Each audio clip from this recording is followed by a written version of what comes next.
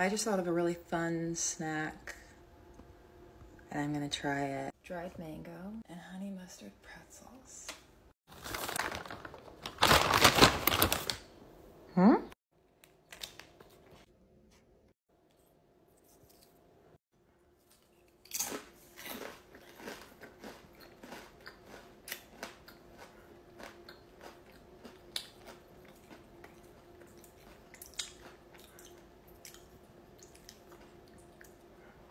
They're better. They're better apart. It's just an unnecessary combination.